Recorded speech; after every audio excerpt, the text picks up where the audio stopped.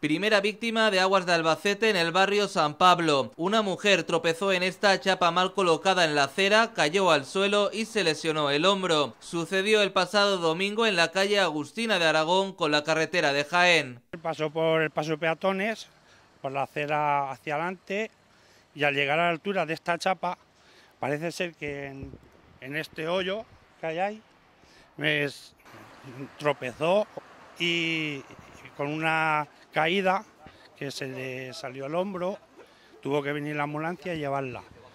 ¿Y entonces las, las vallas estaban puestas de Aguarda Albacete? Las vallas las puso la policía local con unos muchachos que estaban aquí.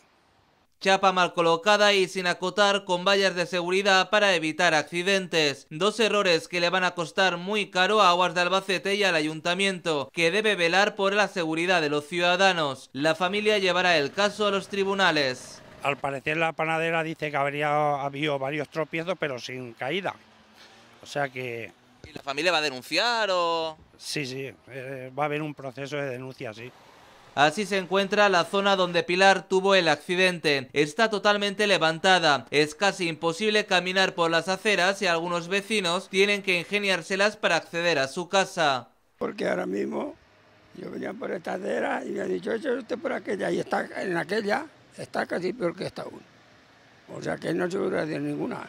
La empresa mixta Aguas de Albacete ha sido incapaz de ejecutar su compromiso municipal debido a su nefasta gestión. Deriva servicios a contratas sin proceso de adjudicación y totalmente a dedo como a Donate Obras y Excavaciones. Una extraña gestión poco rentable para los albaceteños que además pagan el precio del agua de los más caros del país.